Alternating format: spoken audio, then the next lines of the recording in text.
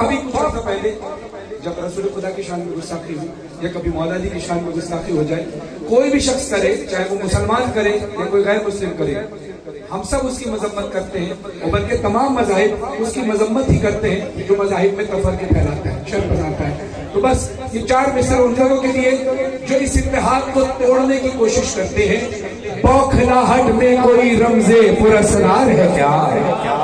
बौखलाहट में कोई रमजे पुरस्कार है क्या किसी मजहूल नामे का इजहार है क्या?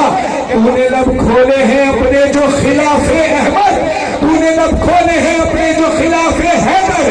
तूने लब खोले हैं अपने जो खिलाफ अहमद। तभी आँगन में भी नीचे कोई दीवार है।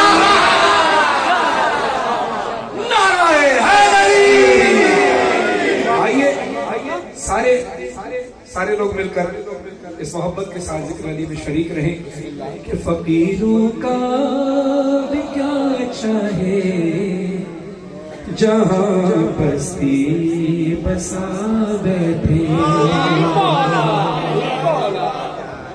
फकीरों का भी क्या चाहे, जहाँ बस्ती बसा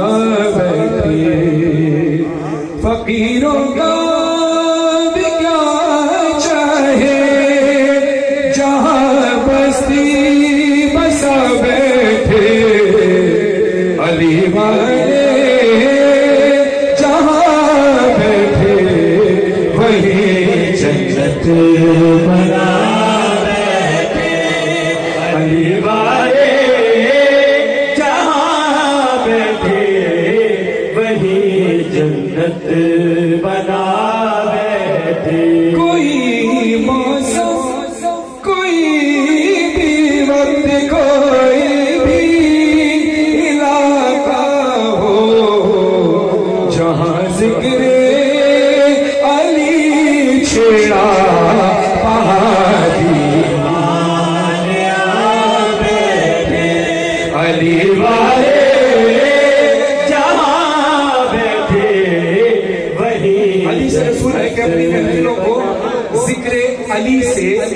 जीनत बख्शो। ज़िक्र अली से जीनत बख्शो। तो ज़िक्र अली से जब जन्नत बनाया हुआ है इस माहौल को तो हाथ उठाकर सारे बोलना। अली वाले। हाथ उठाए जो ज़िक्र अली से।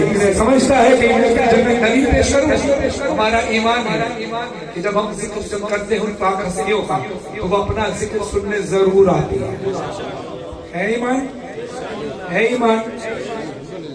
चाहे वो रसूल खुदा हो, हज़रत ईसा इस दुनिया से उठा दिए गए लेकिन दोबारा इस दुनिया में तशरीफ़ लाएँगे।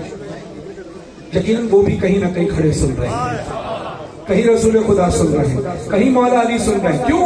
क्योंकि हम जब उनको बुलाते हैं, वो ज़रूर आते हैं। एक आम आदमी किसी दूसरे आदमी को बुलाए तो वो अपने लिए वो कहता है कि हाँ मेरी इस मोहब्बत में इजाफा होगा। अभी इस तरह तमाम मजाहब के लोग आए हैं। जब इनको दावत दी गई, सबने एक्सेप्ट किया कि हाँ मोहब्बत है, प्यार है, हम ज़रूर आएँगे।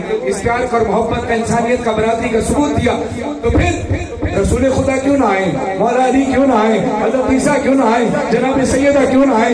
इमाम हसन, इमाम हुसैन क्यों ना ये अलग बात है कि हमारी निगाहें इस काबिल नहीं है कि उनको देख सके।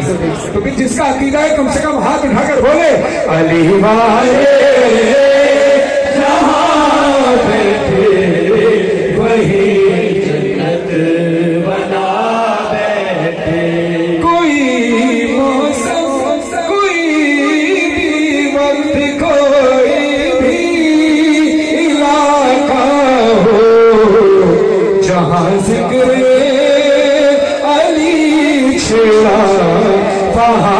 Amém.